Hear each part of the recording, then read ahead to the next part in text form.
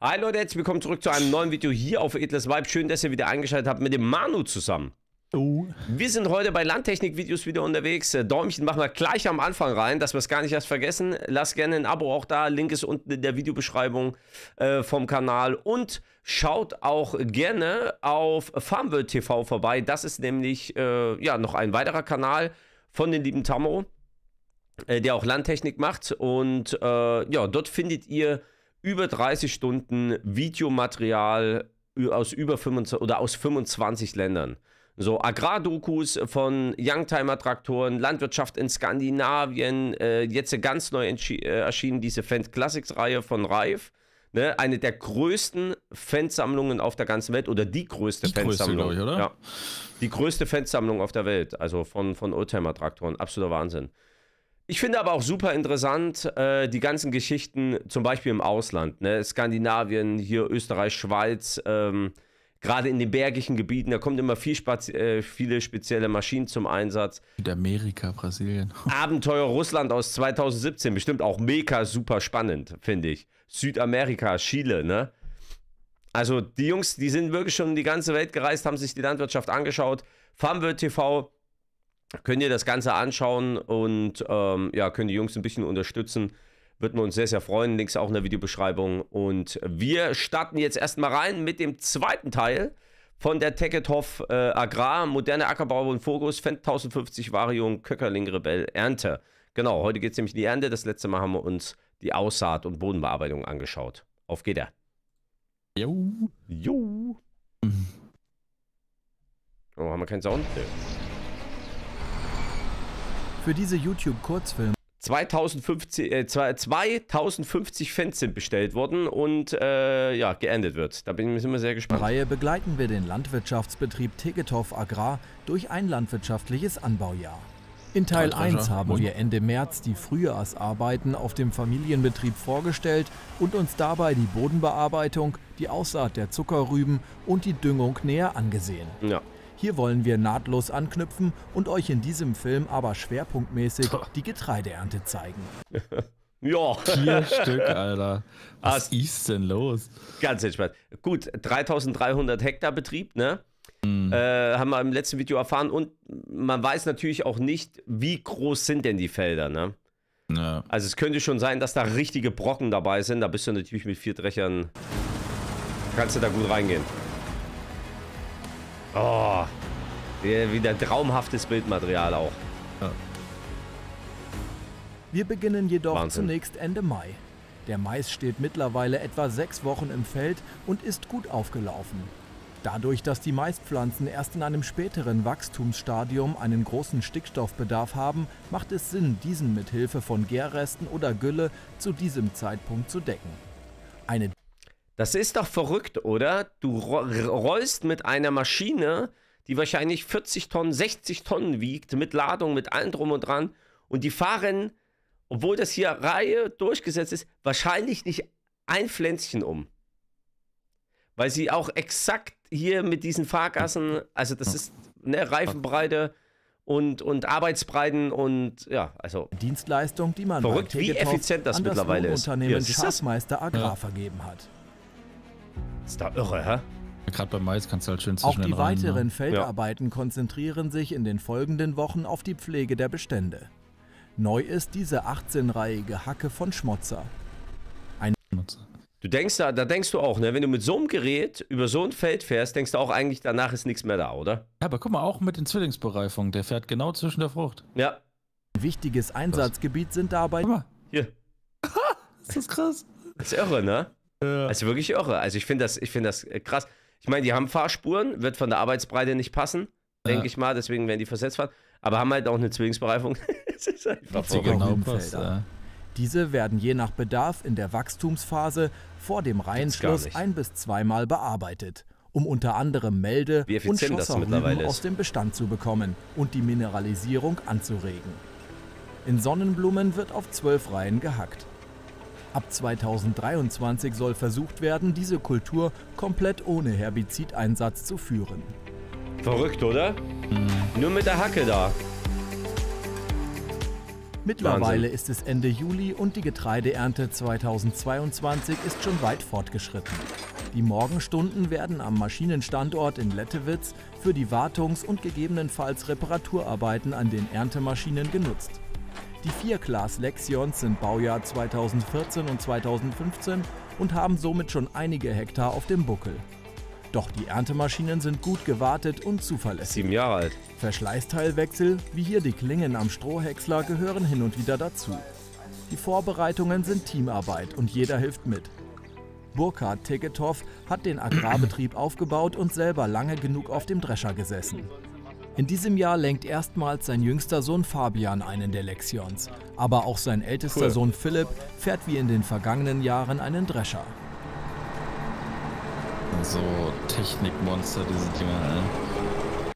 Ja, bin ja auch eine Glaslektion gefahren, dieses, also mhm. also jetzt 2022 bei dem lieben Twitch Farming, bei dem Jan war also. schon, ich musste das Ding auch vom Hof zum Feld fahren. Uff, auf dem Feld hast du ja echt Platz, ne? Aber auf der Straße ist das nochmal eine ganz andere Geschichte. Auch schön warm an dem Tag. Boah, das war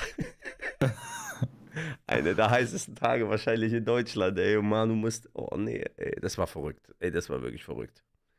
Völlig verrückt.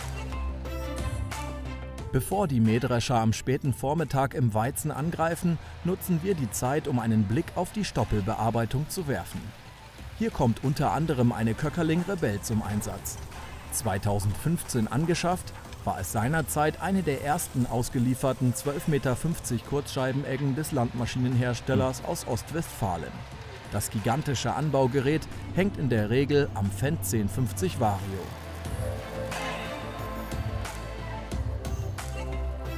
Auch so eine geile Aufnahme, oder? Man muss ja, auch mal so Staub und ja, ganzen, äh, man muss da auch mal so ein Auge, wenn, wenn man als Zuschauer glaube ich schaut man sich so ein Video an und denkt und genießt das einfach so diese Bilder und und das wie er spricht, er hat auch eine super angenehme Stimme ja und alles und aber wenn du selber so ein paar Videos schon gemacht hast und auch selber mal unterwegs bist draußen und einen YouTube Kanal hast ne, und auch Real-Life-Landwirtschaft mal ein bisschen bekleidest bei dir in der Nähe. Dann das gigantische Anbaugerät sind, hängt in der Regel am Fendt 1050 Vario. Solche Aufnahmen zum Beispiel, die, die würden wir nie hinkriegen. Und richtig stehen halt. Und wie der da aus dem Rauch rausgefahren kommt, Alter. Ach, jo. Das ist einfach. Jährlich das sind nur fünf Sekunden, ne? Aber diese fünf Sekunden machen mit dem Video so viel. Das ist. Ist die Rebell bei Tegetov Agrar auf rund zweieinhalbtausend Hektar bearbeitete Fläche.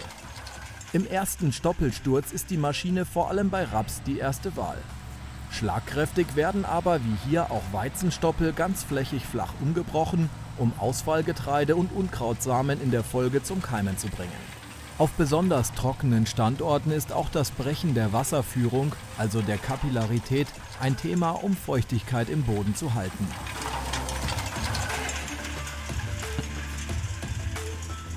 Schöne Aufnahmen. Die einzeln an Blattfedern auch. aufgehängten, gezackten insgesamt 98 Scheiben haben einen Durchmesser Eine von 510 mm. Gearbeitet wird diagonal zur Druschrichtung bzw. Saatrichtung. Dadurch werden die Ernterückstände auf dem Feld noch besser verteilt. Mit der nachlaufenden Doppel-STS-Walze ne? wird der Keimhorizont rückverfestigt. Die Rebell wird in unterschiedlichen Varianten ab drei Metern aufwärts gebaut.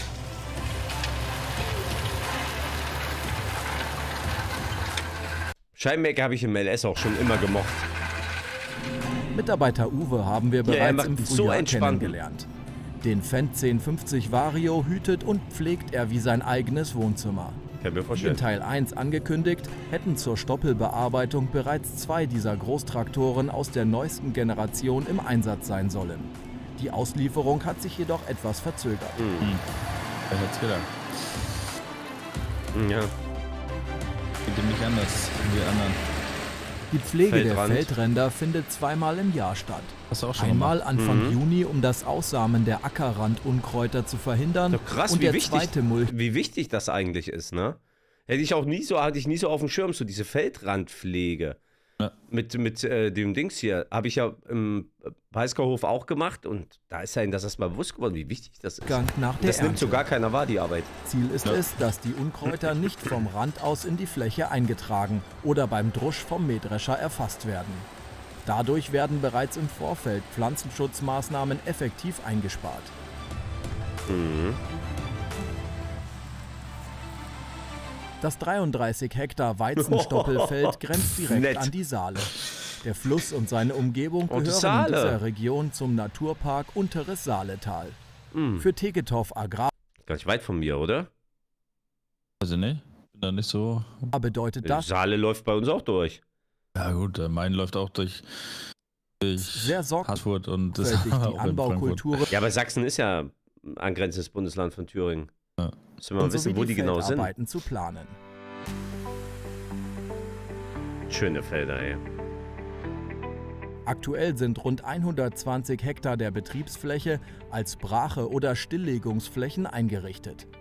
Mittelfristig wird man das von der Politik geforderte Ziel von 4% sogar überschreiten. Moment, Boah, das, was? Was ist denn das? Das ist ja mal ein Feldweg. Warte mal, was? Als Brache oder Aktuell sind rund 120 Hektar der Betriebsfläche als Brache- oder Stilllegungsflächen eingerichtet. Mittelfristig wird man das von der Politik geforderte Ziel von 4% sogar überschreiten. 20 Hektar entfallen auf Blüh- und Randstreifen an Feldrändern. Das habe ich, da kenne ich mich nicht aus. Diese Brache-Geschichte, 120 Hektar Brache, warum? Für ist, Tiere oder was? Nee, auch. Ich müsste jetzt auch ein bisschen viel interpretieren, aber es, ich, ich habe mal gehört, dass du musst einen gewissen Prozentsatz, wie er es ja gerade gesagt hat, von deiner Gesamtfeldfläche ja, ja. Brache liegen lassen, damit sich da die Natur erholen kann oder so ein Kram oder auch diese Blührandstreifen ja, da um Insekten. das ist ja halt. für die Bienchen und alles. Ne? Genau, ne? Das finde ich ja auch wichtig und gut. Ja. Muss ich wirklich sagen. Das ist, das ist auch ultra wichtig und gut diese ja. Blühstreifen. Die Blühmischungen sind dabei standortspezifisch ausgewählt und dienen teilweise dem Niederwild. Dem Niederwild? Hm. Für größere Veränderungen so. der Landschaft hm. wird der Bau der Autobahn. Ja, haben alle ein Feld zum Treffen. Nein, Spaß sind natürlich auf mehrere Flächen. A143 sorgen. Tegethoff oh. Agrar gehen dadurch einige Hektar produktives Ackerland verloren. Ah. Teilweise direkt durch den Trassenbau oder durch Ausgleichsmaßnahmen, bei denen unter anderem Ackerland zu extensivem Grünland gewandelt wird. Eine Vielzahl von großen Feldern ändern sich zudem im Zuschnitt und werden mehrfach geteilt. Hm. Die Flächen werden zu ortsüblichen Preisen von der Autobahngesellschaft gekauft, weswegen der Agrarbetrieb vom Autobahnbau unter dem Strich nicht profitieren kann.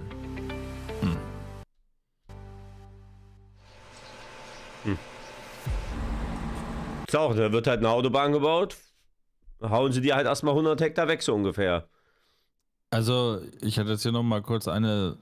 Die Flächenstilllegung, also diese Brache, mhm. ist ein agrarpolitisches Instrument, um die Menge landwirtschaftlicher Produkte auf dem Markt zu steuern. Okay. Am Standort in Lettewitz sind die Vorbereitungen abgeschlossen. Der Erntetrupp setzt sich in Bewegung. Für gewöhnlich arbeiten die Mähdrescher in zwei Teams auf unterschiedlichen Schlägen. Vor allem in diesem Jahr war das notwendig, Geil. da Weizen und Raps gleichzeitig abreiften. Wir haben jedoch das Glück, an diesem Tag alle vier Glas Lexions auf einem Feld zu sehen. Drei Abfahrer, vier Lexions. Schöne Mulden. Alter. Schöne Abfahrgespanne auch, ja, muss ja. ich auch sagen. Man bewirtschaftet Krampe. Felder zwischen einem und 135 Hektar. Dieser Weizenschlag misst immerhin stolze 69 Hektar. Wie klein die da aussehen, die, die, die vier Stücke. Warte mal, was haben. Warte mal, ganz kurz. Man bewirtschaftet Felder zwischen einem und 135 Hektar. 135 Hektar ein Feld. Dieser Weizenschlag misst immerhin stolze 69 Hektar. Ups. Pro Stunde wird ja. mit diesen vier Mähdreschern genügend Weizen gedroschen, um aus dem Mehl mehr als 4 Millionen Brötchen zu backen. Genug um pro Stunde Alter, Alter. die Bevölkerung einer Kleinstadt mehrere Tage zu ernähren. Das ist krass. Und jetzt überleg mal, pro Stunde 4 Millionen Brötchen, Bevölkerung einer Kleinstadt zu ernähren. Sieben Tage. Personen. Äh, Sieben Personen machen das. äh, Ich meine, klar, du musst natürlich, äh, ne, es ist jetzt nur die Ernte, du musst alles weitere vorher natürlich auch noch sehen. Aber am Ende des Tages haben das sieben Personen gemacht. Ja. Wahnsinn.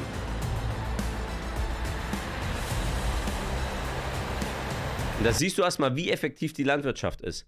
Sieben Hm. Menschen schaffen es, eine Kleinstadt mehrere Tage mit Brötchen zu versorgen, sozusagen. Wahnsinn.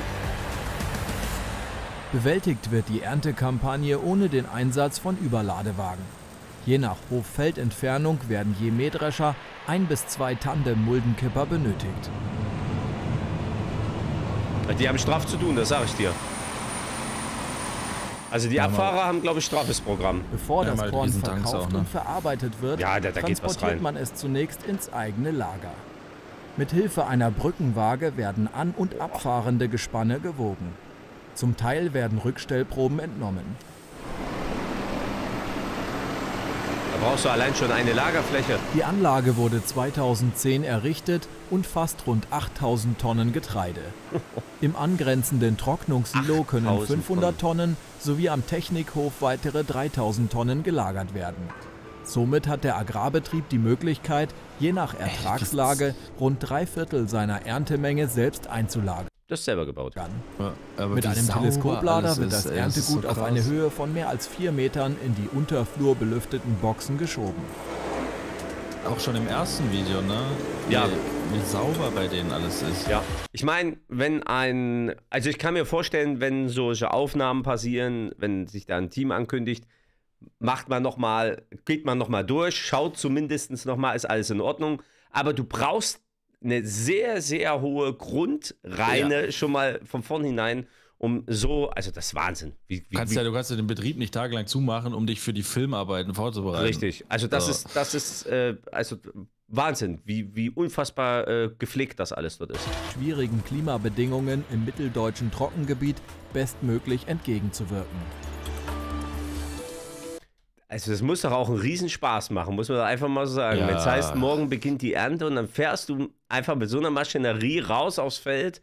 Ich weiß nicht, das muss doch einfach auch als Mitarbeiter, sind das doch besondere Tage, oder? Ich glaube schon, ja. Da freut man sich An irgendwie. den 20 bis 25 Druschtagen, die je nach Witterung in etwa für die Getreideernte eingeplant sind, ist jede Mitarbeiterin und jeder Mitarbeiter voll eingespannt. Auch Marion Tegetow hält ihrem Mann und den Söhnen den Rücken frei und kümmert sich um viele organisatorische Dinge im Hintergrund. Ja, dass die Jungs auch gut verpflegt werden, ne? Zwei Erntehelfer unterstützen in der Logistik. Klar, da Wer- gibt es nicht jetzt, wir machen eine Stunde Mittag, ne? Wird stehen geblieben oder sonst was. Gibt's was auf dem Drecher? Werbungen für die kommenden Kampagnen werden bereits per E-Mail angenommen. Oder wie Hannes Tim und ich, ist im zweiten halt ein Döner Lehrjahr in gegessen im seiner. Ausbildung zum Landwirt. gut. Agrar Hm, bietet zwei gut. Ausbildungsstellen in diesem Bereich. Auch Lust, hier ja. werden Bewerbungen Mhm, per Kontaktaufnahme über die Döner Website switch mich jetzt auch gerne sehen. entgegengenommen.